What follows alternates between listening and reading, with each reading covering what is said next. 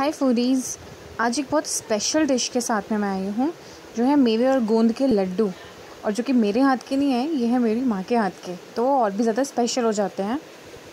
इनको basically guys हम delivery के बाद खाते हैं, या फिर जब सर्दियाँ बहुत ज़्यादा होती हैं फिर किसी में बहुत ज़्यादा वीकनेस होती है, एक लिमिट से ज़्यादा तो ये लड्डू कमज़ोरी को रिकवर करने में बहुत ज़्यादा मदद करते हैं। वैसे तो ये स्पेशली बोला जाता है आफ्टर डिलीवरी दिए जाते हैं, क्योंकि एक यू नो लेडी खड़ी नहीं हो पाती है तो उस समय लड्डू उसको मतलब काफ़ी बार अगर बना के उसको दे दो तो उसके लिए बहुत ज़्यादा ब्लड बेनिफिशियल होते हैं।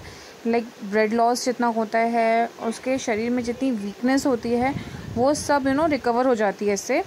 फिर चलिए शुरू करते हैं। जैसे जैसे मम्मी बनाती जाएँगे, मैं आपको बता, दिखाती जाऊँगी कैसे कैसे वो बना रही हैं। इसके लिए सबसे पहले जो मैं आपको इंग्रेडिएंट्स सिखा रही हूँ, और इन इंग्रेडिएंट्स में एक जो ये आपको वाइट वाइट दिख रहा है ना, ये हैं कटे हुए काजू। मम्मा ने पहले जो है, सारे जितने भी ड्राई फ्रूट्स थे उनको चॉप कर लिया है। ये किशमिश तो हम नहीं कर सकते थोड़ी सी इलायची हम बाद में डालते हैं। ये है गोंद। गोंद को इंग्लिश में डिंक बोलते हैं, जो कि आपको डिंक लड्डू जो है, आपको अमेज़ोन पे भी इजीली मिल जाते हैं, जब से कोई घर पे नहीं बना सकता। तो आप क्योंकि गोंद बहुत ज़्यादा वो होता है, ताकतवर होता है। ये जो है, ये मैं दरदरे बादाम जो होते हैं ना, उनको लिया हुआ है। मतलब हल्के से कट है इसमें, हल्का सा मिक्सी किया हुआ है। और ये है मखाने का पाउडर वो जस्ट नॉर्मल मखाने लिए उनको मिक्सी कर लिया है। बस इससे ज़्यादा और कुछ नहीं किया है इसमें। तो फिर और जैसे कि जो मैं आपको गोंद बता रही थी, गोंद बहुत ज़्यादा ताकतवर होता है। तो आप अमेज़ोन पे इजीली मिल जाता है वो। अब ये हैं कटे हुए काजू, जो कि हमने देसी घी में इनको अब हमें तलना है। ठीक है? क्योंकि इसमें देसी घी बहुत ज़्यादा पड़ता है, क्योंकि ऑब्वियसली बात है कि जब बिल्कुल एक वीक पर्सन को आप कुछ घी दोगे, तभी तो उसमें ताकत आएगी। तो आप वेट पुट ऑन और ये सब तो भूल जाओ एक साइड में, पहले ताकत लाओ, उसके बाद में वेट पुट ऑन की बात करेंगे। तो फिर, इसको हम अच्छी तरीके से हमने भून लिया, जब तक ये बिल्कुल रेड नहीं हो जाते। मतलब रेड कहने का मतलब है सुनहरे, भूरे रंग के, बिल्कुल गोल्डन ब्राउन कलर के हो गए। फिर इनको हमने अलग निकाल लिया। अब हम इसमें डालेंगे उसी घी में किशमिश, ठीक है? तो फिर जो किशमिश होती है ना, उसको भी हमें घी में तलना होगा, उसमें थोड़ा सा घी हम और ऐड करने वाले हैं अभी। तो वन टू टू स्पून इसमें घी ऐड करेंगे और उसके बाद में हम किशमिश को भूनेंगे और किशमिश को हम तब तक भूनते हैं जब तक वो स्वेल्डअप नहीं हो जाती। दैट मीन्स वो बिल्कुल फूल नहीं जाती है। एक्चुअली जो आ, सारे मेवे हैं ना इन सारे मेवे को भूनने का ये कॉन्सेप्ट होता है कि अगर इनको हम भूनते हैं ना तो ये ख़राब नहीं होते एक महीने तक लड्डू। हम कच्ची मेवे के बना सकते हैं बट उसको हमें एक हफ़्ते में ख़त्म करना पड़ता है। बट अगर हम ऐसे भून के मेवे बनाते हैं तो वो एक से डेढ़ महीने तक वो लड्डू हमारे अच्छे खासे चलते हैं कोई फ्रिज में रखने की भी ज़रूरत नहीं होती। वो बिल्कुल चलते हैं उनकी यू नो शेल्फ लाइफ बहुत ज़्यादा बढ़ जाती है। अब इसमें हमने घी और बढ़ाया। और अब हम इसमें तलने वाले हैं गोंद, यानी कि इसको इंग्लिश में डिंक कहते हैं। आप डिंक लड्डू जो है ना अमेजोन पर डालो, आपको डिंक लड्डू बने बनाए भी मिलते हैं। और ये, यही मेन इंग्रेडिएंट है इस इसमें बहुत ज़्यादा ताकत होती है। बट इसमें ना, घी हमें बहुत ज़्यादा तलना पड़, डालना पड़ता है तलने के लिए। अदरवाइज़ ये चिपक जाएगा, क्योंकि ये एडिबल गम ही है। बिकॉज़ हिंदी में उसको गोंद ही कहते हैं तो वो चिपकने लगेगा। तो घी ज़्यादा होगा तो वो चिपकेगा नहीं। इस तरीके से इसको भून के हम बाहर निकाल लेंगे।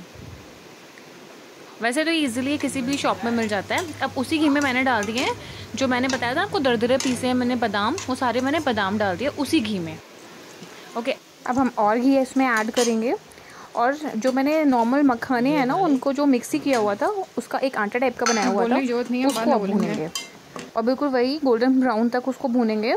बहुत ज़्यादा नहीं भूना है क्योंकि मखाने का आटा थोड़ा सा यू नो हल्का होता है तो वो जल ना जाए।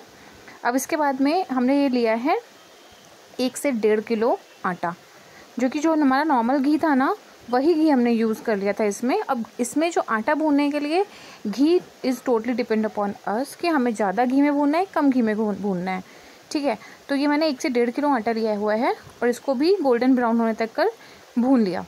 ये थोड़ा धीमी आँच पे ही भूनना, वरना जल जाएगा। ये बहुत धीमी धीमी आँच पे भूना है और इसको दो जगहों पर इकट्ठा कर लिया, क्योंकि बहुत ज़्यादा आटा हो गया था। इस वजह से इसको दो जगह बाइसेक कर लिया। और ये हमारे सारे जितने भी हमारे मेवे थे भुने हुए, और वो रखी हुई है पिसी हुई चीनी, ठीक है वाइट कलर की। अब हम क्या करेंगे? ये इस जो हमारा भुना हुआ आटा है, उसमें हम मिक्स कर लेंगे अपने भुने हुए मेवे। अब इस तरीके से हमने सारे जो मेवे हैं, वो मिक्स कर लिए हैं। आपके पास एक बहुत बड़ा बर्तन हो तो आप उसमें मिक्स कर लेना। मैंने दो जगह इस तरीके से कर लिए मिक्स करने के लिए। अब ये पिसी हुई चीनी मैंने डाली हुई है। ये पाउडर शुगर है, अगर आप चाहो तो उसमें बूरा भी एक होता है, वो डाल सकते हो। तो इसमें पाउडर शुगर के, ये पिसी हुई चीनी के साथ में मम्मी ने थोड़ी सी इलायची भी पीस दी है, जिससे कि लड्डुओं में पूरी इलायची की खुशबू खुशबू हो जाती है। ठीक है? अब बस इसको अच्छे से मिक्स कर लिया और लड्डू बनाने स्टार्ट कर दिए। और लड्डुओं का जो शेप है, आप छोटे बना सकते हो, बड़े बना सकते हो, वो हमारे अपने ऊपर होता है। तो बिल्कुल मम्मी हलवाई स्टाइल में बस बैठ कर लड्डू बनाने के लिए बिल्कुल तैयार हो गई हैं और ये लड्डू बढ़िया से बन रहे हैं। और ये लड्डू बहुत ही ज़्यादा यम और टेस्टी हमारे लड्डू पूरी तरीके से बन चुके हैं। तो गाइज़ आप भी लोग भी ज़रूर ट्राई करेंगे। अगर हेल्थ बनानी है तो भाई घी मेवे तो खाने पड़ेंगे। और ये लड्डू अगर आप लोग बनाओ और आपको कैसे लगे, मुझे कमेंट सेक्शन में ज़रूर बताना। और अपने घर में ज़रूर बनाना। तब तक के लिए थैंक यू बाय